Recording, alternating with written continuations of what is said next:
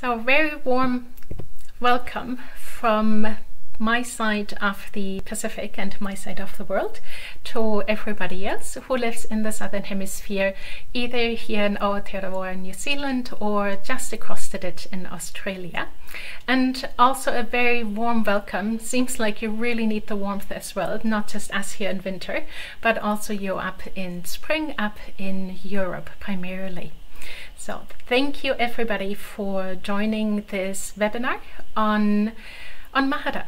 Um, today I'm planning to give you a little introduction to it and um, mainly also to the idea of portfolios, showing a few examples and then pointing out a number of the highlights why we are working with Mahara.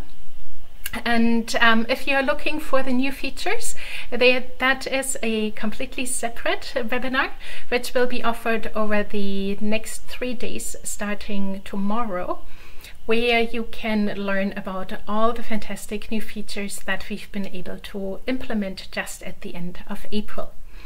And um, if you haven't signed up for them yet but would like to do so, then you can follow this link that I just posted in the chat and it will also be towards the end of the slides.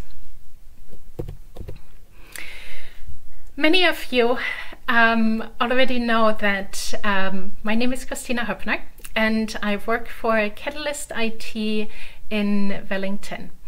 And um, Catalyst is a software development company primarily for web applications.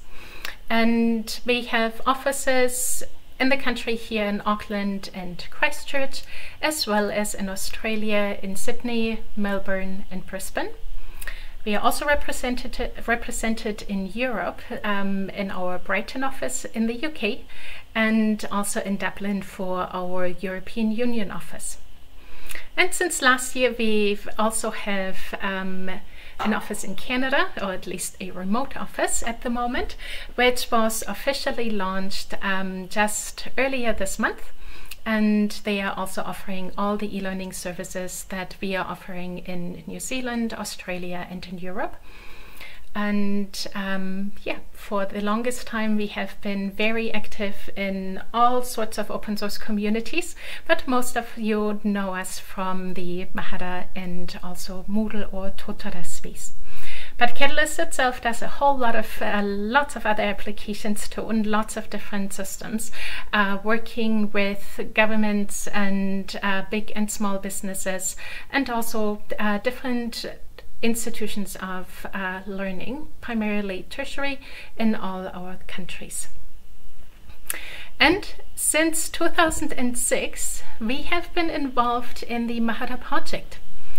As you can see from the date, we will be celebrating the 15th anniversary of this open source project um, that is of interest to us here today, uh, later in the year, because the first commit, so the first code that went into the software officially was um, towards the end of September in 2006.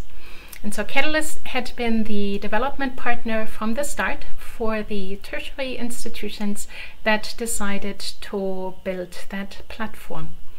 And since then, we've been maintaining it um, with our team in Wellington as well as also our colleagues um, across the world and our community members who also contribute um, fantastic new features uh, to the software, small features, new features, bug fixes, and also sometimes extremely large features. And a few of those you can see in Mahara 2104 that um, has just been released at the end of last month. Um, and today I want to give you a brief overview and um, look into why we are creating Mahara and why we are maintaining Mahara and making that e-portfolio platform available to all of you. So let's take a look at a student.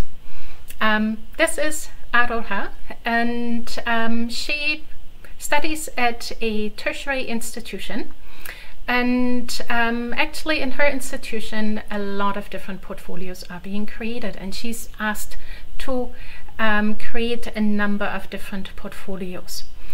And by no means is this an exhaustive list of portfolios that can be created. Um, they are more representative of the sort of portfolios that um, I see on a regular basis these days and um, that have distinguishing characteristics. And please, um, if you like, um, put into the chat what sort of portfolios you are creating or you are supporting um, in, in your workplace, and so that we get to know a little bit more of what you're doing. So one of the first uh, portfolios that Aroha encounters is the learning portfolio.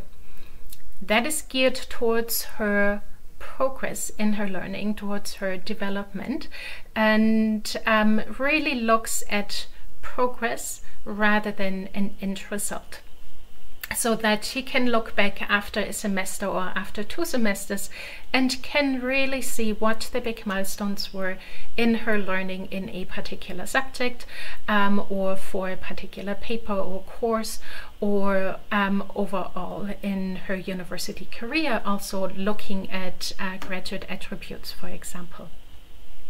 And in that learning, portf uh, learning portfolios can be used quite extensively, for example, in language learning, because there we really document the progress through that uh, learning and can also see where we were at the start and then where we were in the middle and in, at the end. Now, next to the learning portfolio, um, oftentimes we find the assessment portfolio um, at the university or polytechnic level because it is a university, students do want to get grades, and so oftentimes the extrinsic motivator of having to do an assessment and having to submit an assignment is just really large, and therefore a lot of portfolios are created in that area to cover off um, assignments that also require reflections that are a very important element in the portfolio process and also assignments that um, might be project work and that can be collaborative or just um, for one student. And these assignments um, are then oftentimes used um, alongside traditional assessments um, or ex exams. And over the last year, we have had anecdotal evidence that some universities have gone over to using portfolios more um, or increasingly instead of just going down the online exams route because portfolios um, are more suited oftentimes to working asynchronously and um, not needing to be on the computer at a very specific time um, as you would be or would have to be for an online exam. And so they are a wonderful alternative and very viable alternative to still do assessment with the students, um, yet not requiring an online exam. Now in New Zealand, we also see quite a few portfolios that are created for work integrated learning activities. So that those are your internships, externships, um, work placements, practicums, or whatever they are being called at your institution or in your country.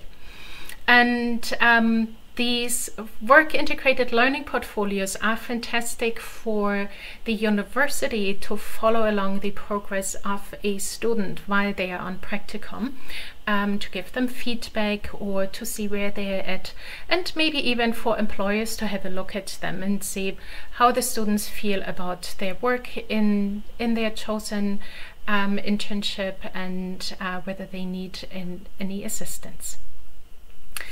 And also, of course, for the students, they are fantastic uh, because they document their progress throughout that very intense learning experience and can then later on look back at that once they are back at uni and uh, want to consolidate all that they have learned and see what they want to do with that body of knowledge, with the competencies and skills they have earned in order to go forward. There is also the showcase portfolio. In some cases, you might know it as presentation portfolio, um, in which students showcase their skills, competencies, what they have learned. So it is quite different from the learning portfolio where, where we are looking at the progress and the learning over time. Um, in the showcase portfolio, oftentimes it is the end product that is in view um, and that is being showcased. So sometimes there might not be a huge reflective element included that can then, for example, be found in the learning portfolio or also in the assessment portfolio. But it doesn't mean that showcase portfolios cannot have reflections. Um, they certainly can, and um, those reflections can then also highlight really, really well um, why a particular piece of evidence has been included in that showcase. And the last portfolio that I want to press, um, introduce today is the professional certification portfolio, um, which we see increasingly when students leave their institutions when they finish their studies and start in a profession such as teacher, nurse, plumber, hairdresser, or pharmacist or doctor. Um, because oftentimes in those professions they need to meet certain standards, certain competencies, and also need to have an annual or triannual re-registration in order to showcase the um, authorizing body that yes, I can still do my job. I can, I still have the skills.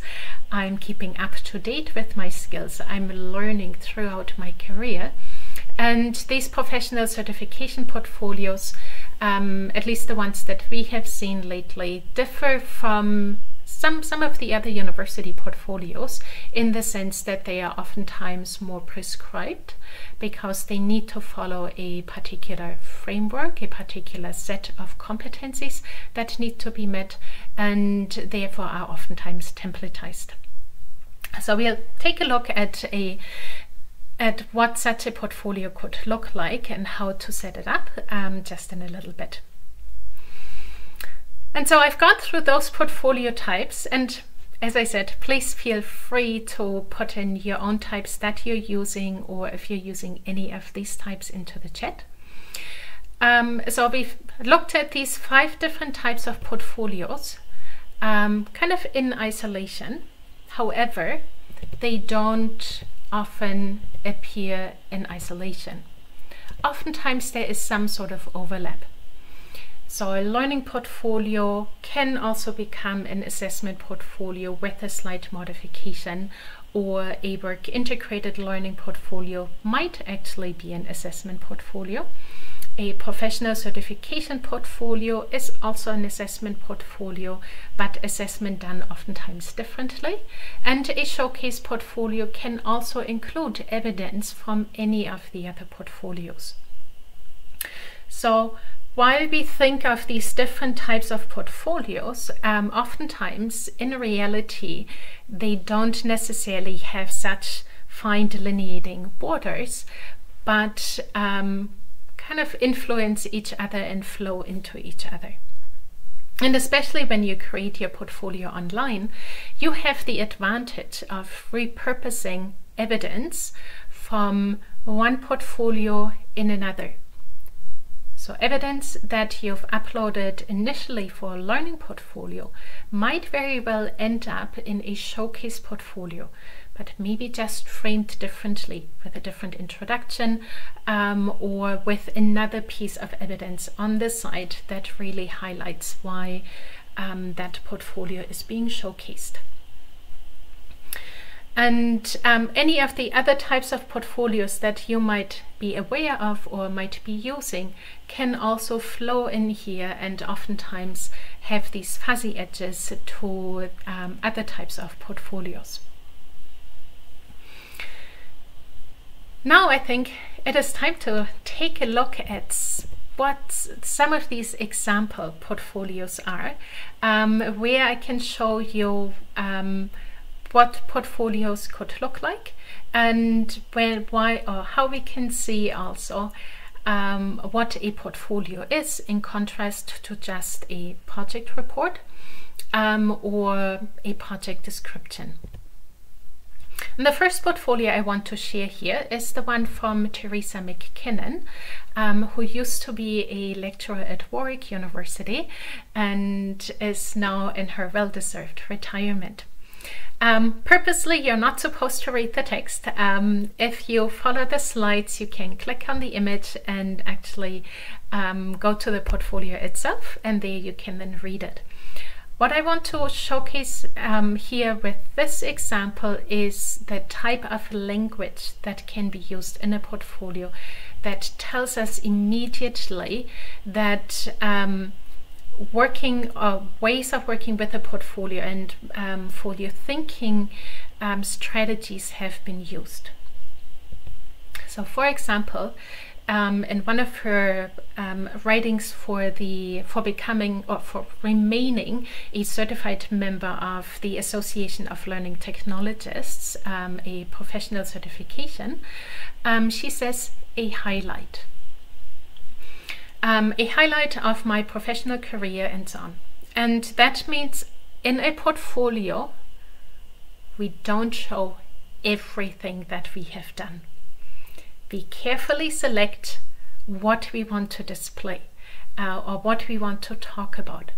And so that is um, very important because that way we can guide our readers and viewers of the portfolio to what we want them to see. So what is important to us, what we find is important to convey.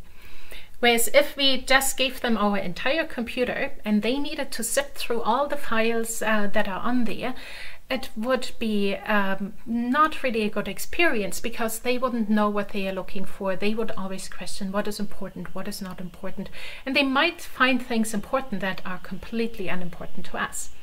And so with a portfolio, what we do is we really focus the attention on the important things.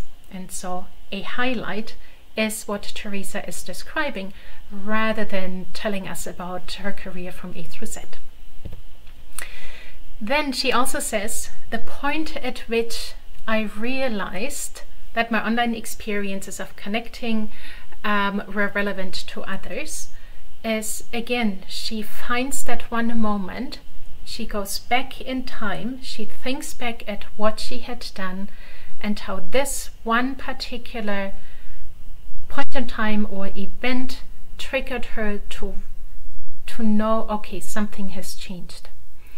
And that is what she is highlighting in her portfolio because that way we can zero in quickly on that and we know what she is talking about. And similarly, I revisited I've revisited each of the sections of my original CMALT submission in order to complete the review.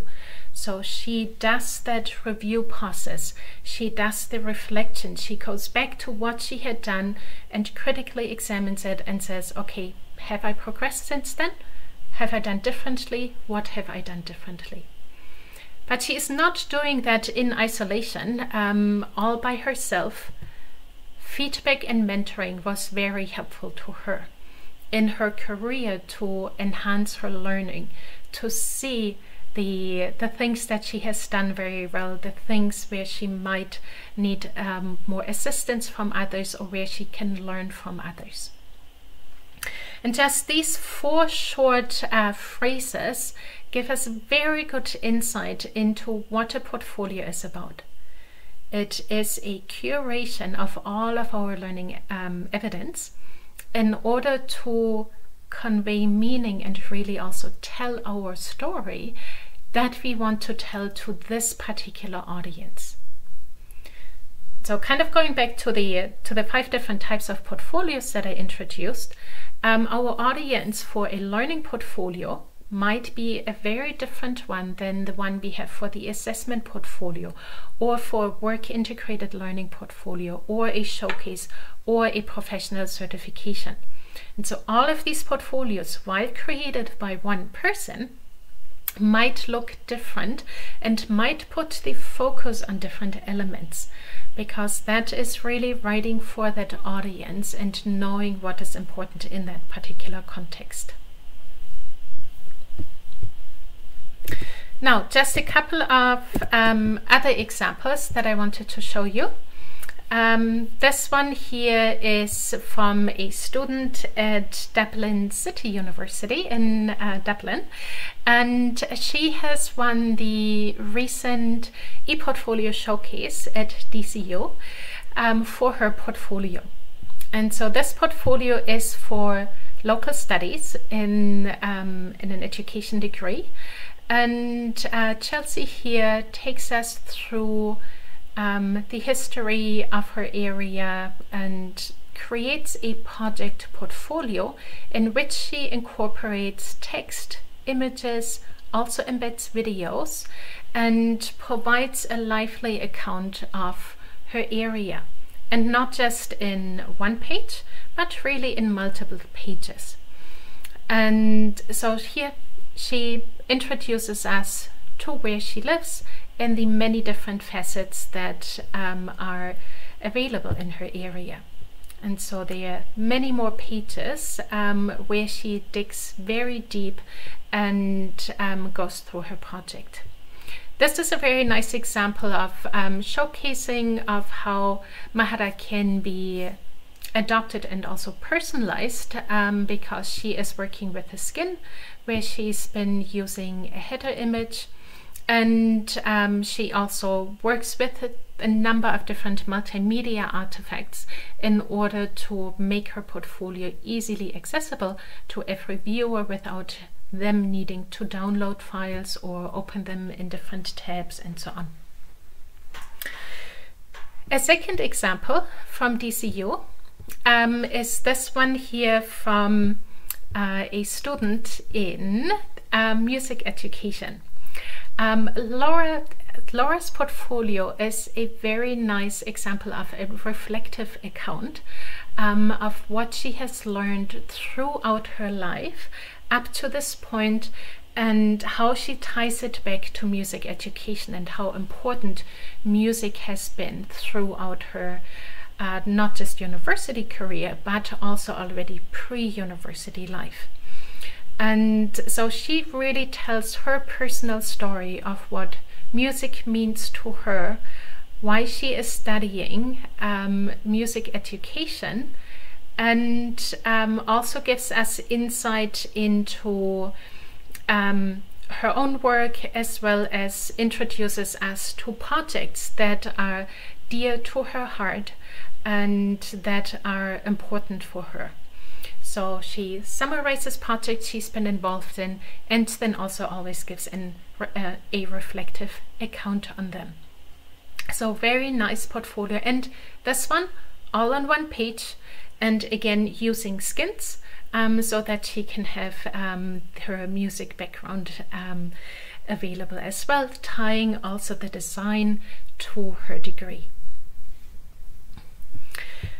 A third example that I wanted to show you is uh, this one here that is a just a very brief made-up one for you uh, because we can't often show portfolios from other people, especially when they are certification uh, portfolios, because they are not made public. So what I've done here instead is um, created a short portfolio to just show you how a template can be set up um, in order to work with that and make it available to students or also faculty. So here this portfolio um, works with the portfolio completion page um, and it can also include uh, smart evidence here the career readiness one for example but doesn't have to. In Mahara 2104, we've um, added a number of new features to this portfolio completion page, which are very fantastic and work really well um, if you do want to work with a competency portfolio and have um, all every competency on a single page. Um, rather than work with smart evidence where you can create topical pages and then tie them back to a competency. And so here in this portfolio, um, there's the portfolio completion page. Um, there's also the smart evidence page and then a couple of extra template pages. And uh, for me, a template is actually not something set in stone. Um, it is rather an invitation for people to get started with something. And all the functionalities in Mahara that um, so go with the template are geared towards supporting students as or learners in general as well as institutions. So what you have on what you can put onto a template page is for example instructions. And these instructions can go for the entire page. And that means that you don't need to send um, your learners off to another website or to a PDF download for them to get the pertinent information of what is important here, but they can get that directly from this page. If you work with text blocks, you can also, in addition to page instructions, have text block specific instructions that then also make it easier for people to just fill in these particular parts.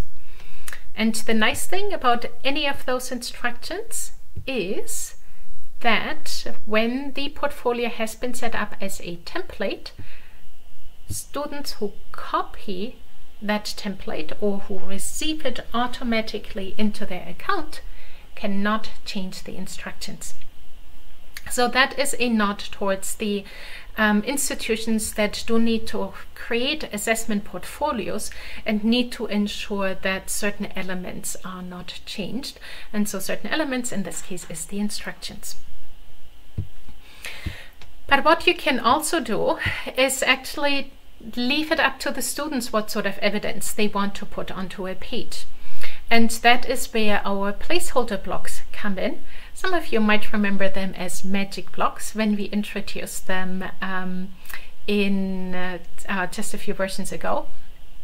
And they allow students to receive a template and have a structure given in the template. So for example, here with evidence one, two, three, and 4. However, what sort of evidence is being supposed to uh, is being displayed is not determined. So the students can decide, okay, for evidence one, I want to have a text block, or I want to use an image, or I want to add a PDF or a video.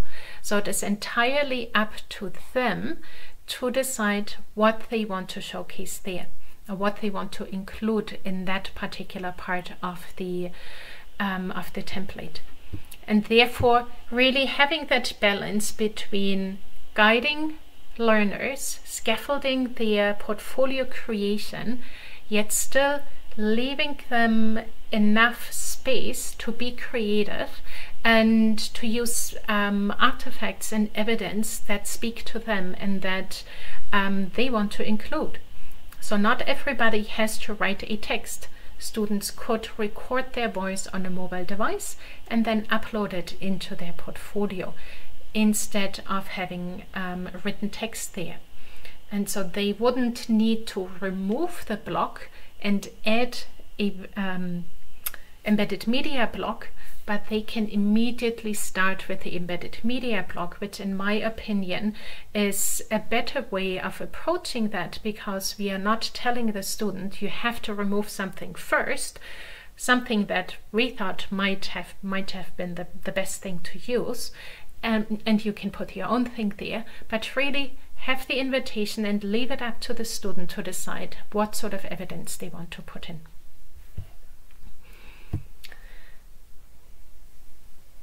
And of course they could also delete all of those elements or move them around the page. Um, kind of going back to that portfolio completion page, uh, there's some new functionality that I do want to um, show you very briefly and that surrounds this entire big space below that portfolio completion. So if you've already worked with the portfolio completion functionality, you know that as learner, um, I can sign off on a page and say, okay, my page is ready.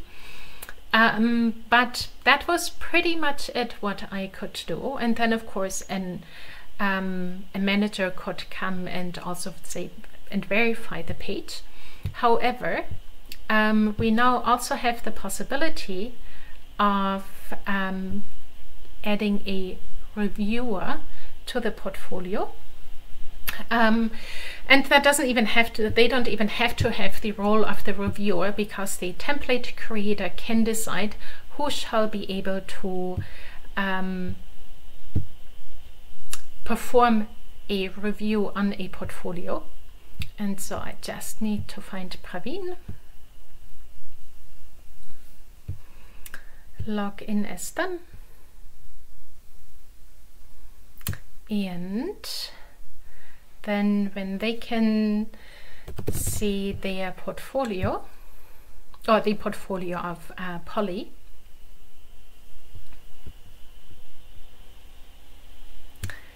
they can very quickly also do a review and a review for the entire portfolio. So that is something completely new, this review statement, which is entirely customizable. Um, because in the past, what you could do, you could leave feedback on individual pages of the portfolio or on individual pieces of artifacts, correct? Um, but now what you can do is really have a review statement either a pre-written one if for example an organization requires um, particular text in the statement that just needs to be confirmed or approved have that there. Um, or alternatively you can also have an overarching comment sitting there um, that is then made visible. And so what I can now do is take my statement and as soon as I do that, in this case, the review statement block has been configured so that the portfolio is locked um, from editing, so the student can't make any changes.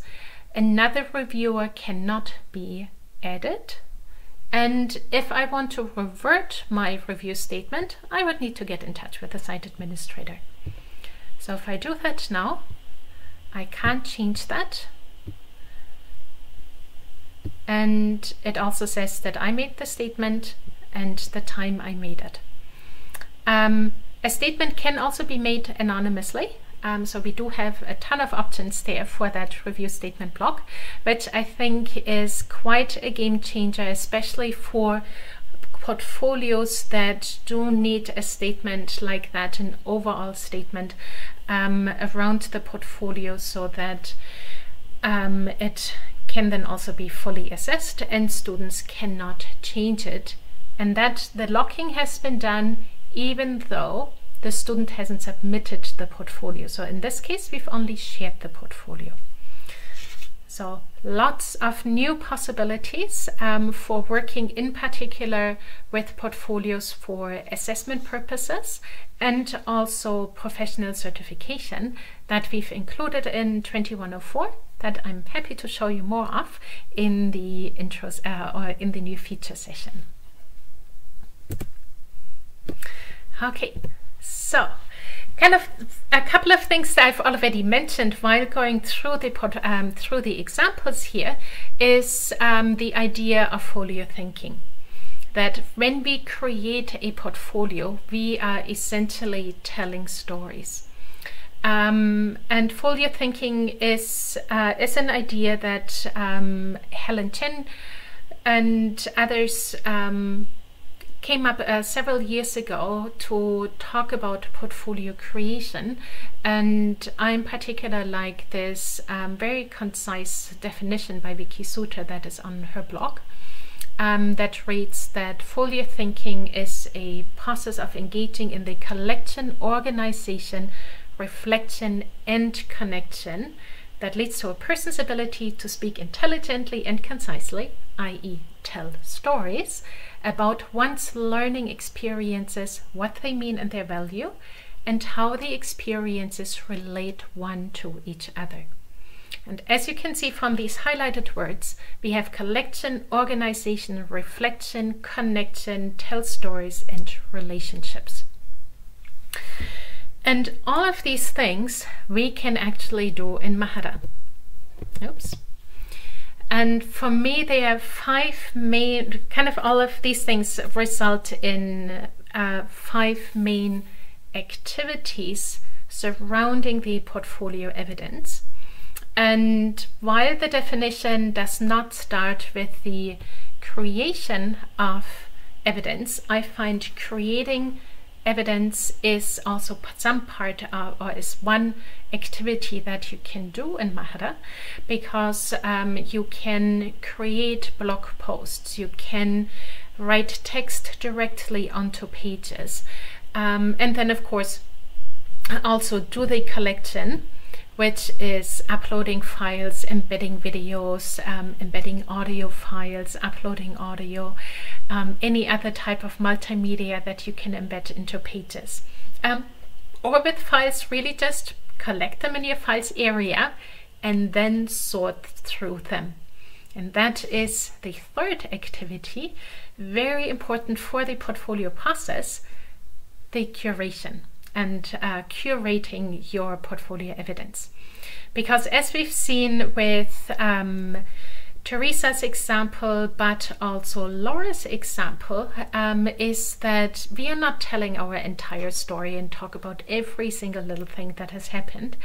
Um, we are purposely choosing crucial moments in our learner story or in our personal story that we want to highlight because they are the most pertinent evidence to um, for telling our story to that particular audience. And so, like a museum curator, if you curate your portfolio, you organize it, um, you label it, you might tag um, evidence, you might sort it into folders if it is files, and you also put it into different portfolios. Um, because it is those portfolios then that form the basis for the next activity, which is um, having conversations with other people around them, inviting other people in to take part of the learner story, to learn about us, um, to give us feedback or comment on what we have done, um, give us encouragement or constructive feedback. And that I find is also one of the wonderful things of using an electronic platform because we are not creating just a file or presentation in isolation, but having people react to that. Um, and have those comments become part of the portfolio because they live in the portfolio itself and therefore when we look back at a portfolio we can see those comments and we can remember them and use them to go forward in our learning journey. And lastly there is also the activity of connecting um, because Mahara is not just there for to create personal portfolios, but you can also create group portfolios or you can connect with others in groups for discussions and um, to share files or share opinions, uh, set up communities of practice, communities um, of learning, and really work together, collaborate um, on what is important to you and therefore create shared content, shared knowledge, and also shared experiences and make those visible to others. And that is pretty much a lot about Mahara. Um, what we've looked at today is just a few examples of portfolio types and where we can find them in particular in higher education or tertiary education, further education and um, workplaces. We've also looked at um, just a very few number of examples and the link on the samples page takes you to a few more uh, that you can explore on your own and if you know of public portfolios, maybe from your own institutions, please do let me know um, so that we can add them to our gallery of portfolios.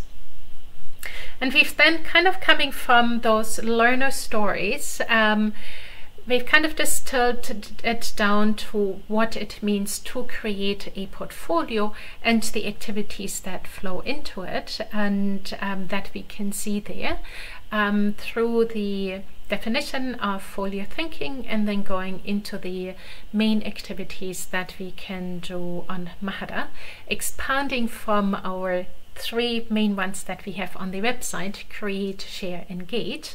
Just really um, taking a closer look in particular at the create element um, because there's just so much included in it with the collection curation and conversation and then also the connection with others now if you want to learn more about portfolios in general, then I invite you to check out these free resources.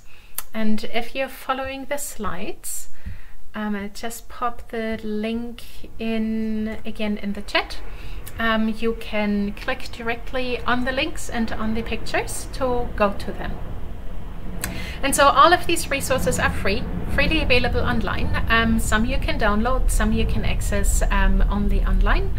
And um, there we have uh, Sam Taylor's guide for designing effective e-portfolio activities. Um, very nice, um, short, practical um, proven activities to get started and same as a colleague of mine in our Catalyst um, Brighton office.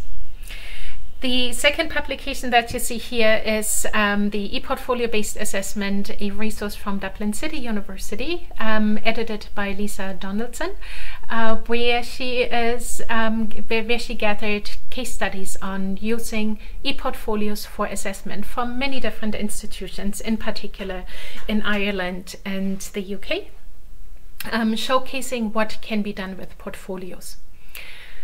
Um, thirdly, you'll see the first iteration of the digital ethics principles in ePortfolios, which is uh, the result of a task force um, that AAEEBL started in 2019.